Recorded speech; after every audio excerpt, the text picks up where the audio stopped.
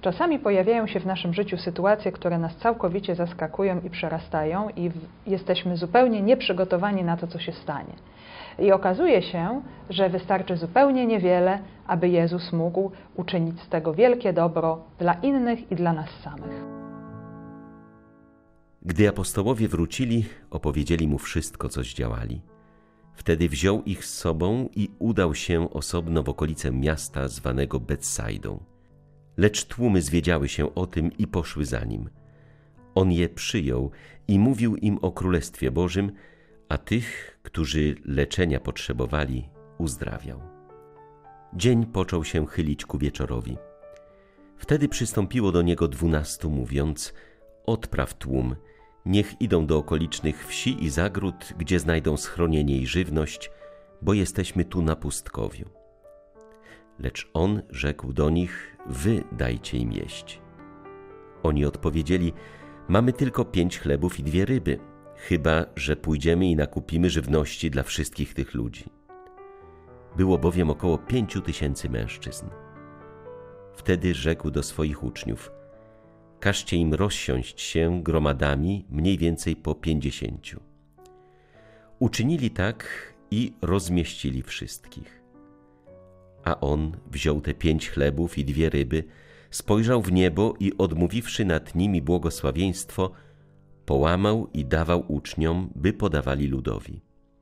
Jedli i nasycili się wszyscy i zebrano jeszcze dwanaście koszów ułomków, które im zostały.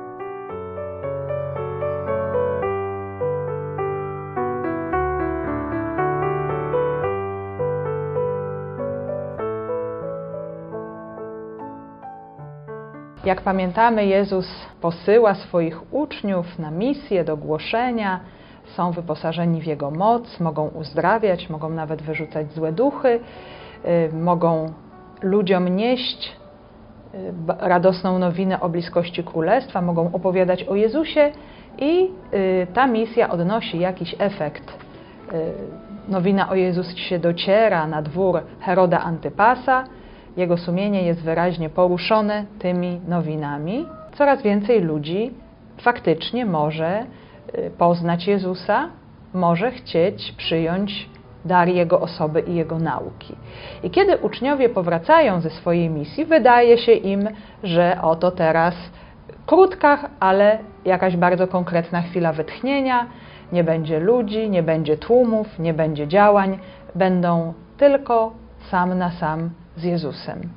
I faktycznie płyną oni do Betsaidy, e, do miasteczka rybackiego na północnym brzegu jeziora Galilejskiego, na tereny nieco spoganiałe, e, oddalone od miejsc, gdzie Jezus zazwyczaj głosił, i mieli być tam sam na sam z Jezusem. A tymczasem dzieje się coś zupełnie innego.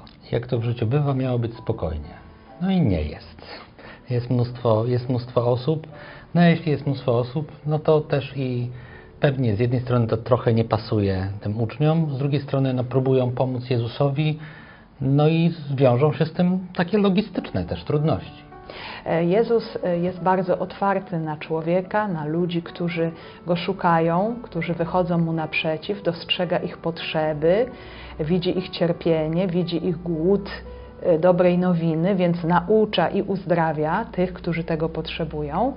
Y, tłum jest wielki, widać, że y, coraz więcej ludzi o Jezusie się dowiaduje i chce się z nim spotkać. Być może inni też przychodzą z ciekawości albo też z różnych innych pobudek.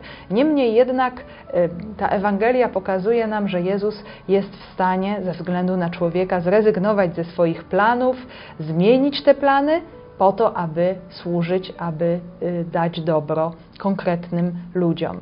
Y, apostołowie, choć z jednej strony chcą pomóc, ale z drugiej strony chcą, y, żeby ten kolejny nowy trud dość szybko się zakończył, a więc kiedy już dzień się ma ku końcowi, dają dobre rady Jezusowi, aby odprawił tłumy, aby, aby ci ludzie w końcu sobie poszli, żeby tłum już poszedł tam, skąd przyszedł, ale Jezus tutaj stawia przed uczniami niesamowite wyzwanie. Miało być łatwo, a nie będzie łatwo, dlatego że uczniowie słyszą od Jezusa, no to to wy zaradźcie sprawie i dajcie im jeść, no bo to jest głodny tłum, A oni przedstawiają taką bardzo racjonalną, mądrą wątpliwość. Tylko wiemy, że ta ludzka mądrość nie wystarcza w tym wszystkim, co jest w spotkaniu z Jezusem, spotkaniem z Jego mocą. No mamy bardzo mało i nie jesteśmy w stanie zaradzić temu, żeby nakarmić tych wszystkich ludzi, a oni są rzeczywiście głodni.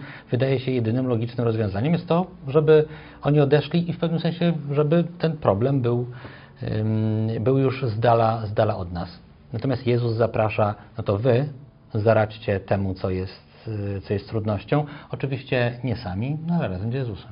E, to też jest taki swoisty sprawdzian po e, tym czasie głoszenia misji. No skoro już jesteście tak bardzo wprawieni e, w reprezentowaniu mnie, no to teraz współdziałajmy razem. Zobaczcie, co możemy zrobić, jakie są y, możliwości.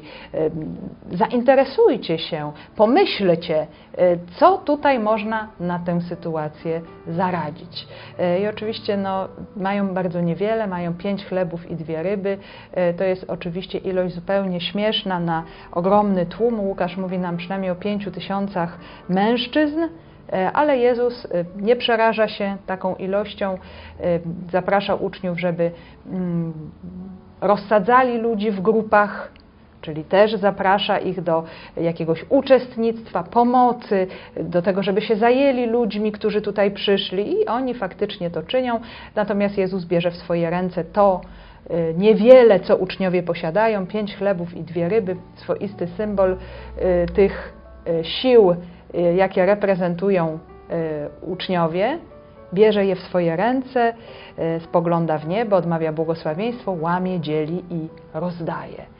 I kiedy tak wczytamy się w to słowo, to te gesty Jezusa, te Jego czynności mogą nam się bardzo słusznie zresztą skojarzyć z momentem ustanowienia Eucharystii, kiedy Jezus również weźmie chleb i po modlitwie rozdzieli go i poda, mówiąc, to jest ciało moje.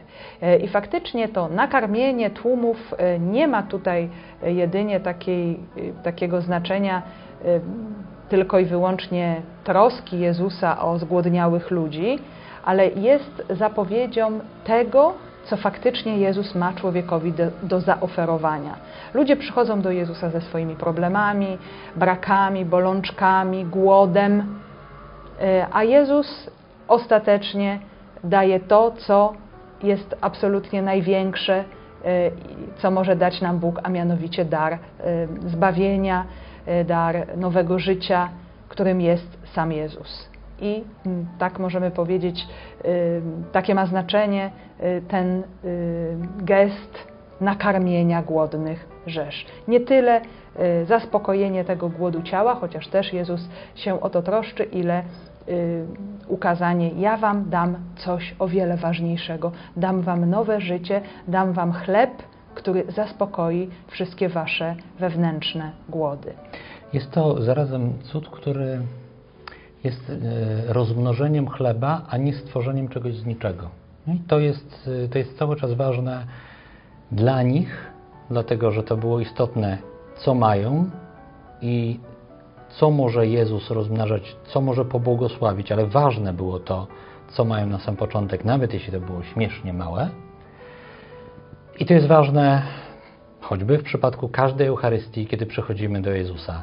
To On jest tym, który działa, to On jest tym, który mi daje, ale przychodzę z tym, co mam, z tym trochę i to jest ważne, bo na tym Jezus pracuje.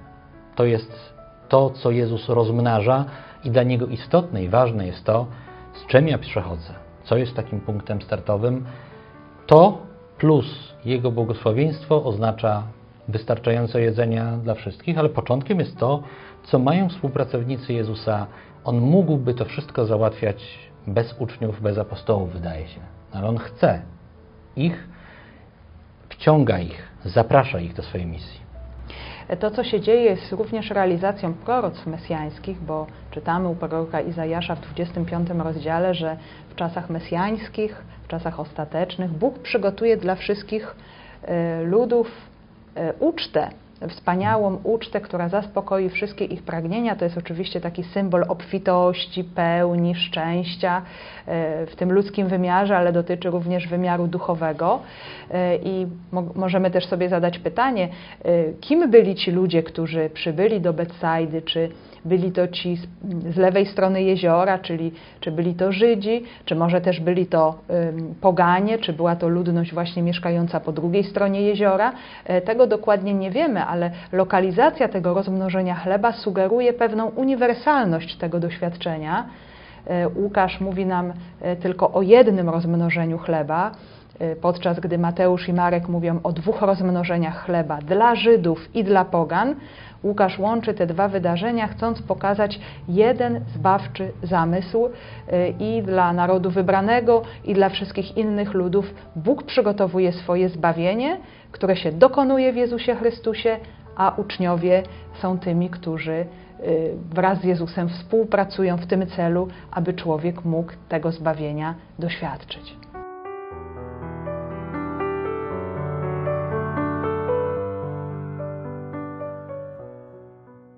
Propozycją osobistej modlitwy jest to, co myślę, że wiele osób słyszało jako propozycję do rozważania, do modlitwy, inni może nie. Ale to trochę, co mają uczniowie, te pięć chlebów i dwie ryby, świetnie może symbolizować to, co mamy i to, co zarazem jest niewystarczające. Jeśli będziemy szczerze stawali przed Bogiem, jeśli będziemy szczerze patrzyli na siebie, wydaje mi się, że prędzej czy później będziemy, przynajmniej w jakichś aspektach życia, doświadczali właśnie tego. To nie jest tak, że niczego nie mam. Nie, nie jest tak, że nie mam żadnych talentów, żadnych darów, żadnego potencjału w sobie. Ale zarazem patrząc na potrzeby świata, na tych wszystkich ludzi, którzy są głodni, to nie tylko chleba, ale głodni miłości, głodni sensu, głodni zainteresowania, miłości, obecności przy nich, no to to jest, to jest za mało. Nie jestem w stanie pomóc wszystkim ludziom. Nie jestem w stanie pomóc tym tłumom. No i rzecz w tym, żebym mógł to, co mam, ofiarować Jezusowi, a żeby On mógł to pomnażać. Więc spróbujcie się tą treścią właśnie pomodlić, rozważając to przed Bogiem. Co mam? To moje trochę, które mógłbym po prostu w ogóle schować, uznać, to jest nieistotne, to jest nieważne, co znaczy pięć chlebów i dwie ryby wobec tych tłumów. Ale tyle mam. I jeśli ja to ofiarowuję Jezusowi, jeśli On może z tym trochę, które mam, działać, no to wtedy jest szansa na to, że będą działały się cuda.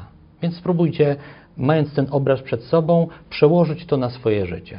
Czyli co jest moim, moimi chlebami i rybami, co jest tymi potrzebami ludzi wokół mnie, co jest tymi potrzebami świata wokół mnie, ludzi wokół mnie, którym nie jestem w stanie sprostać, no i jak mam jedno dru z drugim połączyć poprzez to, że to, co we mnie jest, to trochę, oddam Jezusowi i On będzie mógł mnie zaprosić do współpracy, tak żeby to On ostatecznie dawał to, co najważniejsze, ale z moim współudziałem, tym trochę, co wcale nie jest takim trochę, jeśli będzie to powierzone Jezusowi.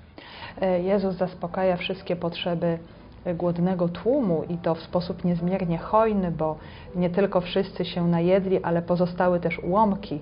E, pozostało 12 koszów ułomków, to nam wskazuje na ogromną hojność Jezusa w obdarowywaniu człowieka. E, I niech świadomość tej Bożej hojności doda nam odwagi, w tym naszym podejmowaniu współpracy z Jezusem e, w różnych posługach, do których jesteśmy zaproszeni, w dziele ewangelizacji, w dziele służby wobec drugiego człowieka. Dobrej modlitwy. Dobrej modlitwy z Panem Bogiem.